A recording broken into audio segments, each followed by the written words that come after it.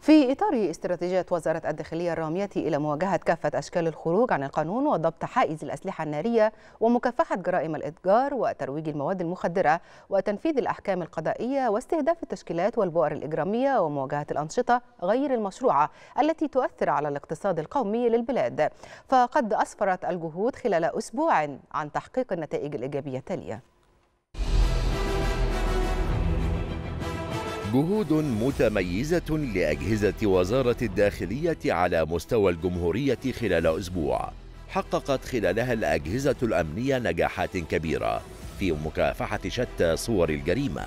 فمن خلال استهداف وضبط العناصر الإجرامية شديدة الخطورة أسفرت جهود الأجهزة الأمنية عن ضبط 605 عنصرا إجراميا شديد الخطورة بنطاق 21 مديرية أمن. والسابق اتهامهم في العديد من القضايا أبرزها سرقة سلاح مخدرات قتل. وضبط معهم 310 قطعة سلاح ناري وكميات كبيرة من الطلقات مختلفة الأعيرة والمواد المخدرة. وفي مجال استهداف البؤر الإجرامية شديدة الخطورة بمنطقة بحيرة منزلة بنطاق محافظات دمياط وبورسعيد والدقهلية ومنطقة السحر والجمال بنطاق محافظتي الشرقية والإسماعيلية. تم ضبط 63 متهما وضبط معهم أسلحة نارية ومواد مخدرة.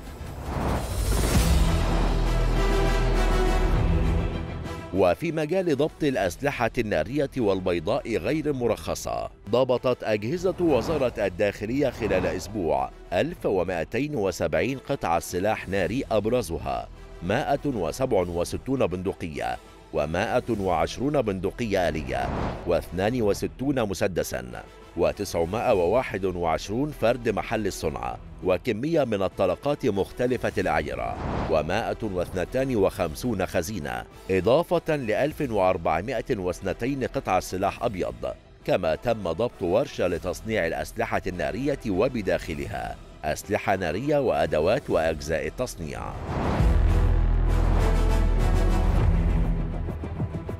وترسيخا لمبدأ سيادة القانون. نجحت أجهزة وزارة الداخلية في مجال تنفيذ الأحكام. في تنفيذ 591177 حكما قضائيا بإجمالي 37074 متهما. من بينهم 2468 حكم جناية و207013 حكم حبس و299765 حكم غرامة و82931 حكم مخالفة. وفي مجال ضبط التشكيلات العصابية والقضايا المتنوعة نجحت أجهزة الوزارة خلال أسبوع في ضبط 22 تشكيلا عصابيا ضموا 84 متهما. قاموا بارتكاب 324 حادث سرقة متنوع وتم كشف غموض 69 حادث ما بين قتل عمد وسرقة بالإكراه وحريق عمد وانتحال صفة وضبط مرتكبوها بإجمالي 90 متهما. كما تم إعادة ست سيارات مبلغ بسرقتها.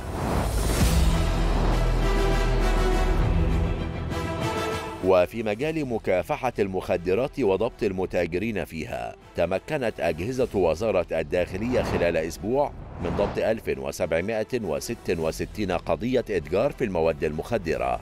ضبط خلالها 1943 متهما وبحوزتهم ما يقرب من 718 ونصف كيلوغرام من مخدر الحشيش وقرابة 146 طن من نبات البنجو المخدر وكمية من مخدر الهيروين وزنت أكثر من 47 كيلوغرام إضافة إلى ما يزيد عن 17 ونصف كيلوغرام من مخدر الاستروكس.